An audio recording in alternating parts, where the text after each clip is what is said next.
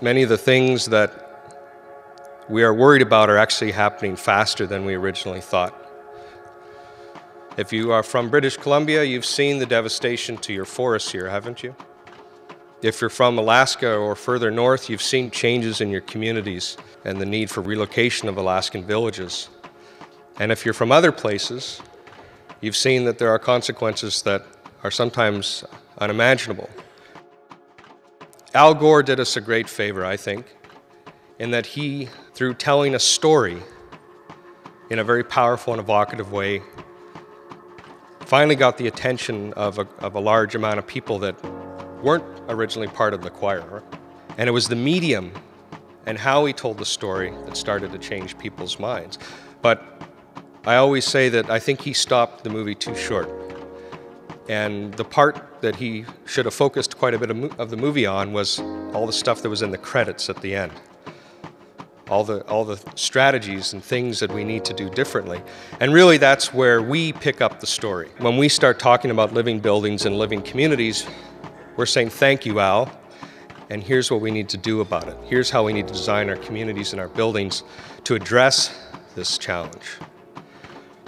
And to borrow actually the words of the Premier, we need to be agents of hope.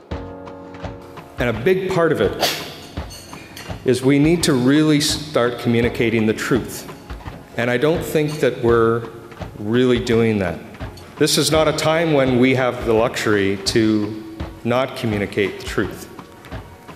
And I also think that when you're speaking the truth, you at the same time need to offer people a compelling, inspiring vision of the future. You need to help people imagine what is possible. But here's the thing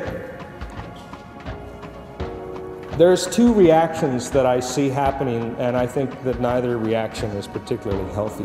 One is sometimes we are so afraid to despair, we are so afraid to have pain. We don't want to sit with pain. So we go on, of, even though we know information, we drown it out and we go about our merry ways and have false hopes, the Jiminy Cricket hopes, and delusion, and act as if there's no problem. Or we despair too much. We lose all hope we become bitter, cynical, angry, and I think ineffective.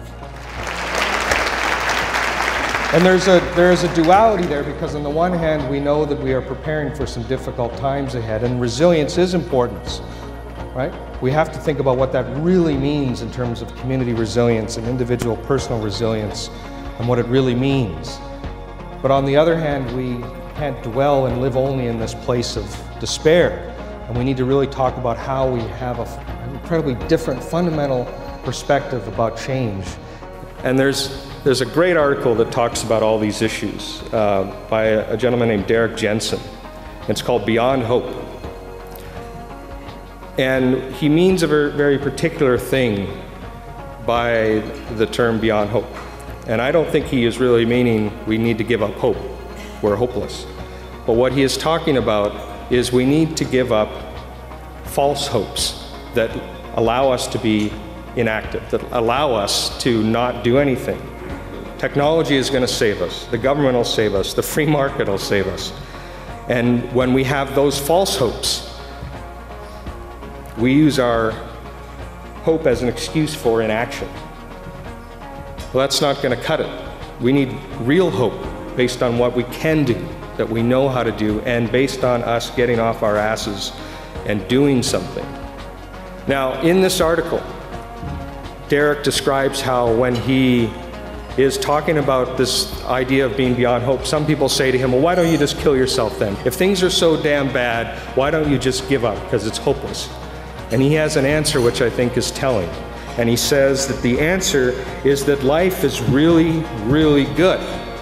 And I am a complex enough being that I can hold in my heart the understanding that we are really, really fucked. That's his word. And at the same time, that life is really, really good. I am full of rage, sorrow, joy, love, hate, despair, happiness, satisfaction, dissatisfaction, and a thousand other feelings. we are really fucked. Life is still really good.